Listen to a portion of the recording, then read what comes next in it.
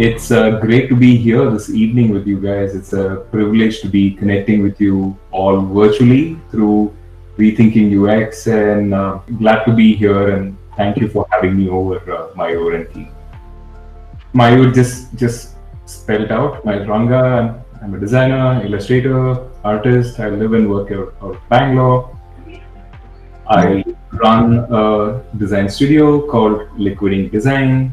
We are a compact team of eight members who believe in combining multiple skills to build meaningful experiences ranging from analog to digital uh, of all sorts, uh, right from startup to well-known startups to smaller startups that we work with. So, uh, I to, to, today's topic, uh, I believe limitation and creativity go hand in hand. Um, given the current uh, situation of the pandemic, uh, I, you know, you can see both limitation and it can also be a source of creativity. When I'm what what I'm going to be walking you through and sharing with you uh, is to see the situation from a lens of creativity. And what I want to call this is my observation of the new normal. I've tried to pick some of the very recent projects, so it's literally like the last couple of months is what I've been, you know, whatever the last few months, what I've been working on is what you I'm going to be walking you guys through.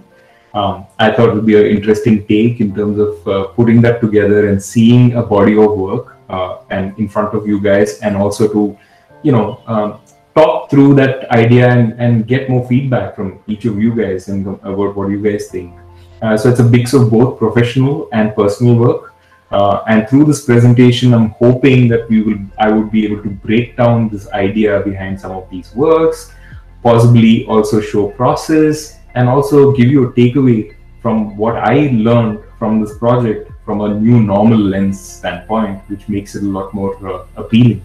Uh, so let me just jump off and maybe start to walk you through my first project that uh, was is called the Quarantine series. Um, literally, this project was something that I started off um, right when the end of March. I think that's when it started to hit us, um, and I had heard a lot of these stories from my uh, grandparents and um, my mother of you know war times and how they would go into hiding under a under the ground and you know hiding away from the planes but i haven't heard anything like this where we had to all be suddenly at one day all of us had to be quarantined and locked down so it was a very very different experience and i thought this is a great creative experiment for myself and wanted to like really had me think deeper about this quarantine situation. So we all started off with the idea of me reading up, maybe seeing a lot of these people talk about cleaning your hands and sanitizing your hands and making sure that you know you're you're you're you have a certain process you go through a few cycles and all sorts of things so it was very intriguing for me to see how creatives are handling these kind of things and i thought it would be a great idea for me to start off. So the idea where I started off was to really take commonly common daily objects found at home and use the use them as day as large than life objects. Objects that suddenly became more highly significant. I can't believe how significant this little sanitizer bottle became and became relevant to the lockdown scenario.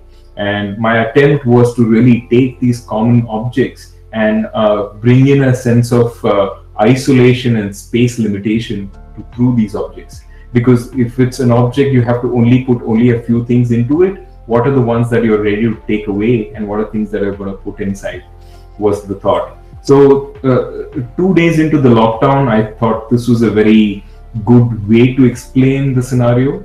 Uh, it was a creative take at staying at home with family and, and following simple guidelines, staying at home but at the same time i wanted to spread awareness of and, sensi- and sensitize people about the importance of staying at home uh, the entire uh, idea the way i, I didn't th- think of it that way when i started to pull it together but it was more real in a surreal space uh, bringing this mundane object with a dash of fantasy you would never look at a sanitizing sanitize you know sanitize a bottle and see something inside it. So what it will look like if I had to go that route was uh, how I took the creative direction. Um, few weeks into the uh, quarantine, I realized I was spending a lot more time. It was getting overwhelming. I'm sure all of us felt that. Suddenly, we were trying to figure out how we will work, how will we break down work, what is going to happen. A uh, lot more uh, virtual meetings and back and forward with work. Uh, you know, and, and for me, this depicted the time where I just spent a couple of minutes through between breaks, between meetings, where I just stood near the window, sipping chai, and not really worrying about what is going to be the next meeting. Uh, and I thought this was very treasureful from my point of view that it was getting a little bit of overwhelmed. I was I was overwhelmed with a lot of things going on at my end um, running uh, design studio on one end, running clients on one end, having them meet together, have these discussions. Oh my God, it was quite quite an overwhelming task. And what I try to depict through these these kind of uh, characters is to really have both genders and have different age groups because I wanted to make it very, very relatable and open up the uh, the broader perspective and scenario to how we feel and that's exactly what I was thinking of uh, in terms of how this came together. Uh, the third one, which really hit home, the idea was the I, for, for me specifically, which is one of my favorites, is my gratitude and salute to the superheroes in the front line fighting against all odds. I thought it came together pretty well. I was trying to figure out what is the best way possible for us to really convey this in a beautiful way that we we salute you for and the candle is on for that but at the same time it is this feeling of pride and uh, you know having people do their best uh, irrespective in the face of whatever was going on uh, a few months ago. Um, this was a refreshing change. It was getting too busy. It was getting too um, too serious. Uh, but what you know, one of the times when I was standing at the patio, uh, you know, the last uh, the, the few weeks, uh, specifically during the lockdown, was this patio and walking up on the terrace. And one of the times it was the summer showers where the, a bunch of kids just came out and just started jumping in joy and having fun. And the first thing that hit me was, uh, you know, like children right like the way they wholeheartedly embrace the goodness of any situation and every situation that comes their way and i think we as as adults we start to really think about too much but you know for them it's that simple sense of inhibitions of just having a good time irrespective of what that looks like. And i thought was like i felt myself doing that in, in a way that can i be that childlike? You know it doesn't matter what's going on. Can it be just open to any situation and really reaping the goodness around it? Um, and that is what I was going with this little space, uh, uh, you know, in terms of uh, uh, a salt shaker and people in it, basically, or in a patio. Uh, this is the fourth of the series, uh, which was more a reminder for myself to really step out and get not really step out, but do a lot more physical activity. I did a little bit of walking, but not too much. But I think it was getting in the way of me having to just be a little more conscious. But you know, again, the object being uh, a typical gym water bottle and having people inside it and having fun uh, building it. Uh, just to step out and show you how I build some of these things, just to go go through the process for a lot of designers who think how these things are made. This is how I build it out. Again, I try and bring the idea of uncertainty for me and and and constraint. Uncertainty in a way that I don't know how it will turn out I'm not working for uh, a, a, designer or a or a team that tells me what to do. This is my own design. I try and figure out what works, what doesn't. So it is uncertain in a way that is white canvas first. I need to figure out.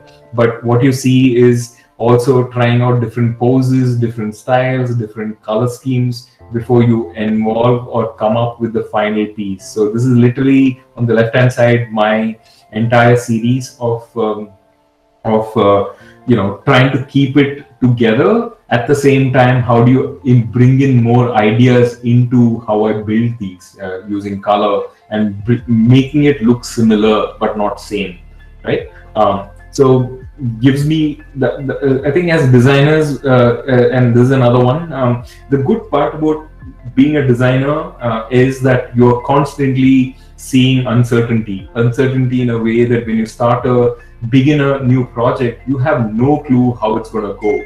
Whether it's going to be the best of the series or the best of the things that you will be able to, but your hope is that you want to do something great, right? That's the uncertainty you start with. But as you start to build, not just from a designer, but from a front end engineer or a product manager or anyone who's building things, the start is uncertain. The start is very chaotic. It, it doesn't, un- you don't understand how it goes. But as you start to make sense of it, you start to begin to see the rays from the other end of the tunnel, which is great because when when when you hit upon these kind of uncertain times, you can really look back at your own journey at several times, and you can really foster, uh, you know, your confidence to make things happen, irrespective of what the situation is. And I, I feel very strong that we are able to build these kind of things every single day, or go through these kind of situations every single day as designers. Yeah, so uh, these are certain sketches. I'm going to go a little more faster, maybe uh, just so that you guys uh, see the overall breadth. Like, so what you see is it starts off with a sketch in my mind. Uh, Pradeep asked a question about how do I start and where I go and how I build it. These are very initial thoughts that I look at. And when you look at how it came together, the the the, the man, the little kid looking up and having fun is so so different from this woman uh, looking up and breathing. I those are changes I make as I start to compose them, as I start to see it very differently, as I start to make these character changes uh, in my own mind. Uh, and I think it's a great thing for any creative to really start to change your your initial idea to and keep improving, keep uh, keep uh, refining, keep changing, but not change the overall idea. You still stick to the main overall piece, but you're refining to do better things in, inside it. Uh, this for me is a personal favorite. This is uh, blending work, video calls, mindfulness, fitness, experimenting with new flavors and recipes. I'm not a big uh, guy who cooks too much, but at the during the lockdown, I I had I tried to do certain things myself. Uh, this is just me trying out certain things. I thought it was a good fun um, way to really try and put it inside a mixer and see how I mix all these kind of things and what comes out of it. Um, and I like how it approach in that sense of uh, me having fun doing these kind of things. When I step back, this is the overall series.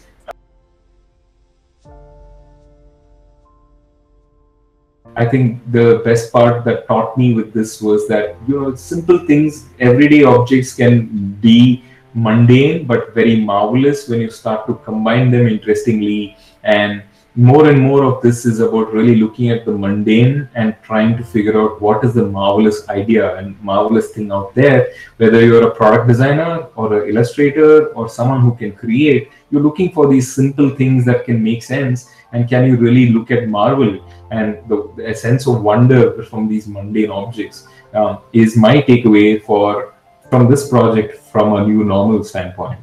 So let me move on to the second project, um, which uh, is a little more commercial. Um, this is a project that I did with InVision. Uh, if anyone using any of these design tools, I'm sure would really be very familiar with InVision. Um, InVision does great tools, and uh, I had an opportunity to work during this lockdown, literally during this lockdown, between the periods uh, between April and May to pull out uh, a new book, uh, ebook for uh, design and engineering, and what could have been the best, great, uh, you know, fitting finish of always us being designers and engineers coming together to build something really useful and meaningful. Um, so that was the handbook I was trying to make. People who are not familiar with it uh, can look at look, look them up. They're called Design Better it's a it's a collection of best practices uh, from all sorts of great design disciplines and people from different teams all around the world who run great design teams as well as individuals um, who are experts in this field. And the idea of these books are to really combine two things. One is to really take the great knowledge coming from various teams and individuals, but put it in a creative way that helps people understand complex concept in a very simple way. And I think I'm I'm more than kicked to really work with these kind of concepts because you are looking at trying to tell your these concepts um, or your own like you know your own um, uh, work that you do to a 10 year old imagine um, it's always a hard one to say what do you really do how do you really then tell these concepts to someone um, who matter to you, who's a 10 year old who doesn't understand her, who understands but needs a metaphoric way to tell these things, these stories in a beautiful way. And I feel that this is a great way for me to really challenge. It challenges me to really think of it very differently. So uh, this is how it looks. It has a very beautiful appeal to it. Um, I'm just showing this. This is because Jack Delli, who was a, a, a very a very popular designer who works with uh, uh, InVision. They have a great team of designers uh, who put these two things together. It's always great to collaborate with them, sitting in India and figuring out how they do what they do, um, and it's always great. Um, so what typically happens is a, a, brief comes out like this, literally. This brief is just telling me when I want it, how quickly I want it, and what is the the, the, the artwork is all about and the key concept that we were going with for this was an intersection of creative and technical thinking. Uh, more to do with uh, bringing designers and developers closer together to improve collaboration, reduce friction, and also to really innovate faster because you could really bring them together real quickly. So it, it was quite a challenging one. How do you really tell something where you're having collaboration without really being too direct? So here's what the idea I cracked. Typically, this idea would have been given to me, but this was a very different approach because they had no time to really put this idea together. They said, Why don't you come up with the idea? And I pitched this idea. So, this is the first time I was pitching an idea to InVision and see how that works, which was very beautiful. Um, and they really jumped up to it. They said, like, let's try this out, let's see where it goes. So the idea was to really a play on the thing called string games. I'm sure you all of us have played this. If you haven't, you should. Uh, it's pretty straightforward. You have these simple shapes with rubber bands you can make. You can make these loops. Uh, the metaphor where we were going were was was for uh, constant collaboration between design and engineers. The strings became more a bridge between two disciplines. Uh, the game can also be played by multiple people, two or more people passing these strings both back and forward constantly and creating these interesting models. So if I take back that same idea, what we are really trying to do with design is to really go back and forward with your thoughts and you're creating these ideas through strings. And what I realize uh, is that when you're coding, I'm sure uh, a lot of us understand that we use this idea called strings and they have certain colors to it and they, we really use that as a as a normal way to explain these are different strings in a way that is threaded together. And i thought it came together really well. And they pretty much liked it too in terms of helping understand this concept really well. So this is my first sketch. Um, I thought it would be really cool for us to really capture the idea of the game in the foreground and have these models show up at the background. But I, they felt that it, it, felt they felt that there were too many things happening that it, felt like a game in the foreground which had no uh, it, it didn't feel very strong but at the background there was so much going on so it, there was a lot of uh, competing kind of ideas rather than just one single frame of thought uh, then there, there was too many things going on and can we eliminate a lot of these and get closer to the real real problem in hand the, the idea about it. So this is a bunch of sketches i created but then i'll show you the process so you can see it. It's not out there. It, this is the first time anyone is seeing and it's good i want to bring certain things that are brand new which are not yet out there.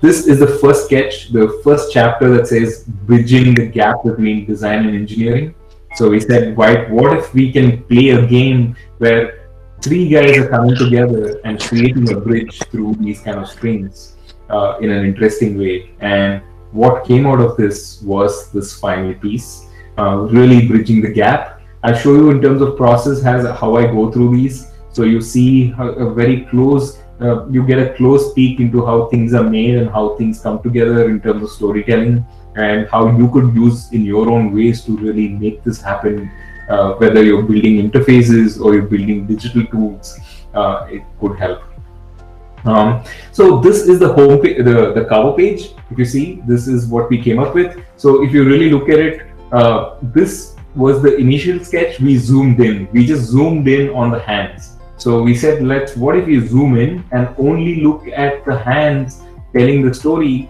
And can we have something very interesting in that sense? That can we uh, just eliminate whatever is not necessary around and just zoom in uh, and figure this out. So again, uh, as I said, different colored metaphorical lines coming together, building the story. What I try and do is to just block out color. So if you go from this, I just try and block out color. You see that I haven't done too much. I have, because I sketched out so detail, I know exactly the lighting and color and even the shadow. So what I try and do is to trace on top and do something like this, as simple as that. And the next layer is the detail. So you see the step by step, I build it out very simply. I just take the colors, block it out, understand the colors, and we wanted to make sure that it came from different ethnicity and multiple people pulling this together. So we wanted different kind of colors. If you see, even the uh, the, the, the skin shades uh, have a range of it to really denote that there are multiple people coming together, and the overall story comes comes alive when you start to see these small little details. Uh, and like it's not a big difference, but it, when you really start to make these small refinements, as I said, makes a massive difference from going from here to here.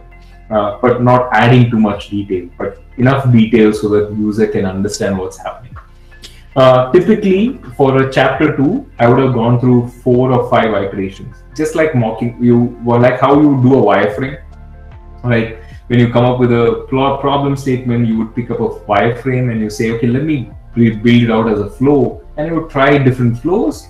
This is exactly how you would do it. This is uh, the second chapter where it was exploring product magic, how rapid experimentation can drive decision making.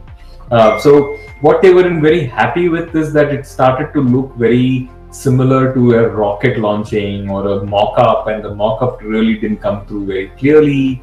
Uh, we were trying to do what if it was like these strings that you can rotate like you had these nails and you had one two three. As children you would actually connect these dots uh, and that's where we were going with.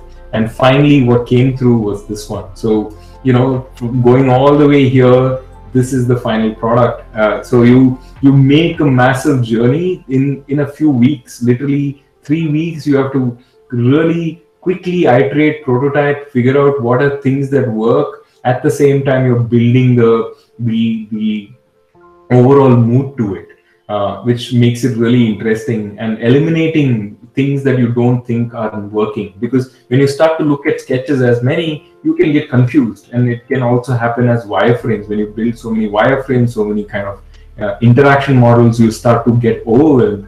The idea of a designer here is to really start to eliminate and start to make sure that certain things are made sure that decisions are made in a certain way so you can move forward uh, rather than get caught in uh, the overall mix.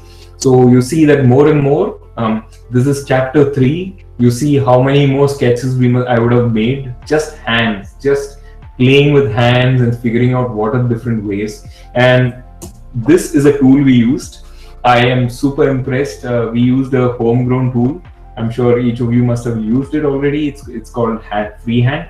Uh, so we, this is how where we collaborate on work. You see that each of us add our own. Um, so from top to bottom, bottoms are all the sketches and the colored uh, items are people leaving notes uh, saying you know i like it i don't like it or whatever the comments can we improve on this one. So every day i would put up this and people would next day i would get more feedback then go back and change that feedback to something else. And uh, you know the first cut the second cut the third cut I think we had around six to different eight cut to six to seven different cuts before we actually got down to how it starts to look and come together. Uh, I like the process because it's really strong. They really get into a lot of details in that sense. Um, so yeah, you see that uh, this chapter three, which is about engineering and collaboration. um, working together as teams, different models, working with different uh, scaling efforts, scaling engineering efforts, and things like that. This for me was a very different challenge. Uh, this is the last one, which is a very slightly a little soft skill. Uh, this is about shaping culture, recruitment, managing design engineering teams, and building partnership and leadership, which is very hard to find because you're using hands. But how do you really try and bring that? So here on the right hand side, we had come up with this thing where we could bring all the idea and string it together into one punch. Um, and this literally was the final one. Literally two days before we shipped, I thought it would, didn't make sense because it I didn't feel very strong. It didn't have that punch. Um, so we went back and changed it in one night. Literally went from here to this one. We felt that this had that weave, it had that color, it had that kind of punch to culture, building leadership, building people, and this is what we wanted to really come you know, bring this together. So what you see is how the final output comes together. It's a great way because you can do only that bit, and there are people who take these layouts, put it together. Uh, there are uh, mm, you know authors who I interact sometimes who who uh, try and bring their ideas together. Uh, John Maeda, there's a bunch of guys who really make this happen behind. So you you play your part, but others play their part, and finally when it comes together, it looks so beautiful. Uh, and nothing like uh, you know doing this kind of uh, you know work together, which where you can really complement and work through in, a, in an interesting way. Uh, uh, is what really keeps uh, you know any designer looking at some of these these projects and figuring out how you can do your best from here. so I wanted to actually animate it as well, see how that looks. So this is uh, my own take. So I don't. I mean, I, I could have easily stopped at just uh, uh, making them as just pictures, but I thought this had a lot more punch when you actually animate it and you start to play with it and it helps me also learn a new tool. Uh, I tried to do a little bit of animation, but this is something I've been very consciously figuring out how to, um, you know, animate, put something out there, and not just look at it as just only static frames. So for me, the takeaway has been from this project has been focus and refinement. Focus on elements that matter. Uh, more and more are uh, both uh, from a project and from a uh, you know personal standpoint, I feel that focus has been one of those areas where we've been uh, we've been constantly hit by several things that we need to manage. And for me, elimination and refinement. And most times we know what we want to do, but we end up not eliminating and figuring out what needs to be done for today, what needs to be done for tomorrow, uh, for us to really build on our skill, build on our point of view, and refining it. And I thought this, uh, from that angle taught me that to for me to prioritize things because if I had to ship it in a certain time, I had to come up with a certain discipline. And also from its own characteristic, it was all about eliminating a lot of things and refining to the point I was happy about the outcome. Uh, and that was a great learning for me personally. Uh, the last one I want to quickly run through, which I wouldn't take a long time, is uh, something I'm very kicked about, uh, and I'm sure all of us will relate to this from a experience design standpoint is PhonePe's app that we, or sorry, my bad, not PhonePe's app. It's the PhonePe's web experience that we redesigned uh, recently again through the pandemic, through the overall piece. We had done some work, but it was great how we all collaborated together to come together and build something like this. So this was the PhonePe app. I'm sure all of us have used PhonePe, have heard about it, but haven't hit the app, uh, you know, web experience. This is how it looked. Um, I come from a background of experience design myself. I've built a lot of products, and this is like a common territory where we start to brainstorm, we figure out target users, address what are we trying to build, proposed interaction, structure. I'm not getting into these details because we all know we do this every single day. Uh, but the idea was that we wanted to make sure that we have all this covered before we get into the creative side of things. So this hit me that what are we trying to do is pretty simply covered as a PhonePe example that, you know, what if PhonePe did simply if I took and this is before the pandemic and mind you where people were trying to still get to the new normal of using phones to pay money. And what if you could take your, your phone to a sweet shop and bought sweets or paid your bill just by just you know pay you know looking at your bills and paying for it or went to the grocery store right next to home and brought groceries or paid money to your friends and family just by a tap of a button and securely through PhonePe. This was the pitch I made. We actually wanted this to be the pitch that we, if we get it right, do we get it right? And they just bought it. They said like, wow, this is great. This is just exactly what we want to say. Can we say it in a beautiful way? So we started to draw. This is how I approach every project. This is no different to PhonePe. We try and do every bit of the interaction idea in place. So this is how we really sketch out even before. So we go further before beyond the structure and try and visualize what that looks like from an end user standpoint. Uh, so we started to visualize this further in terms of how things come together.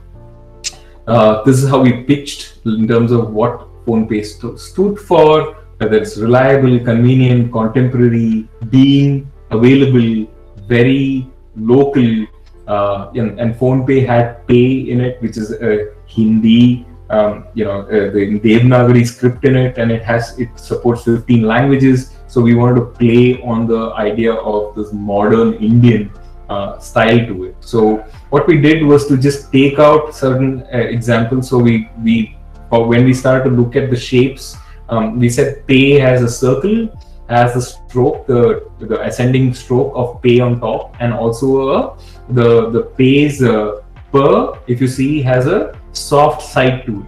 So can we play on this? So we started to build out certain ideas. So the circle could be used for people, logos, while the angular lines can be how we shoot pictures of uh, bills and things like that, and pictures can be owned by us having these kind of chamfered edges. So you see how we were trying to. These are very in, in uh, initial examples of what we were thinking of in terms of style. Uh, we were we were these are 3D models we built, not the left one, but the middle and the right. We said why why can't we really have bills rendered in 3D and captured them in a certain way that you would actually see. So we started to look at bills, all sorts of things to really make this happen. Uh, and we wanted to capture them in natural settings whether it you are in a cafe or a, just bought a certain thing, you come to a POS and you want to scan or buy it online. And what we wanted to use was PhonePe colors. So it was a very strong purple with other colors mixed into it. So if you really look at the color palette, again, when uh, we started, uh, we were trying to work this out, but I think great part was co-design came in and they did their part of building a beautiful identity and refining the identity and coming up with colors, uh, which I thought was beautiful and it complemented the kind of work we did. This was a very different take. We were trying to also figure out if we could really use one or two syllables in between where we could really have, uh, you know, uh, a local term uh, or a local uh, word in it. Uh, in this case, where you still read as merchant, PhonePe, or shopping in that sense. Um, so those were like the ideas we were thinking of. Now we are slowly getting into how we presented our ideas. We try and show them in the way people would actually, uh, you know, go through this. So this is how we were looking at these ideas. These were like the initial design mock-ups in terms of how, uh, you know, when you present, what is that interaction going to look like? Uh, what will happen when you pause for a few seconds? what if it what if you scroll what should happen i'm sure all of us are familiar doing these kind of uh, mock-ups but i think with with the design and putting things together it makes you feel that you can want to jump right out there and feel like it's almost there you want to build. It so this is how the mock-up starting to uh, uh, came come together from a language standpoint. More and more of these as we started to build out design language for PhonePe uh, and the mobile and web app experiences of how this will translate from desktop to to web. Um, this is what we have finally come up with. Uh, it it took us a while, but it took us. Uh, it was quite a um, quite a interesting journey, both from.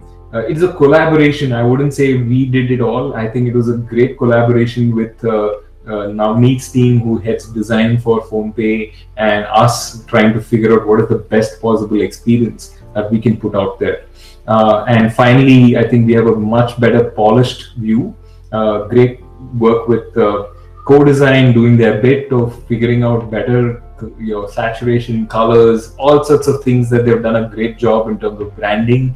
It was a great collaboration in its own trying to figure this out for me, the takeaway from this project was to find a unique voice, finding a unique voice for the brand, uh, also finding a unique voice for yourself. Uh, from a from a new normal standpoint, I feel that it's very important to stand out and have a have your own voice and stand out of the pack. Whether you're building it for a brand where you're trying to figure out a unique voice for them, or for yourself it's more and more going to be a lot more online stuff and how can you really pull away from these things and look at it very differently i wanted to leave you with some certain other things that i'm trying to explore. This is for curefit. We are trying to work out what the, the new normal looks like. I put out every week something. So let me pause and not talk and just walk you through this for a couple of seconds.